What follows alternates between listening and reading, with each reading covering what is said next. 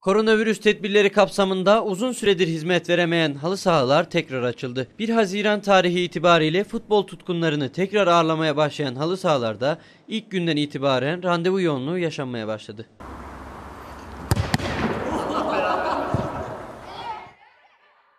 Futbol hasretini gidermek isteyen vatandaşlar halı sahalarda yer bulabilmek için yoğun mesai harcadı.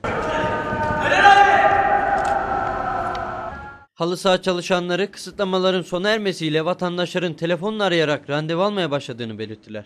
Bir buçuk senedir iş yerlerimiz kapalı. Bir hayli mağdur olduk. Ee, Allah'ıma şükürler olsun.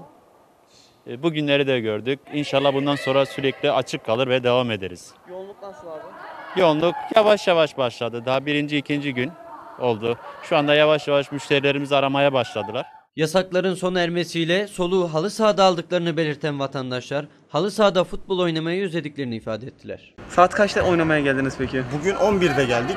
Çocukları getirdik yani normalde bu saatte halı sahaya gelmiyoruz ama Nasıl peki özlemiş misiniz? ya tabii bayağı.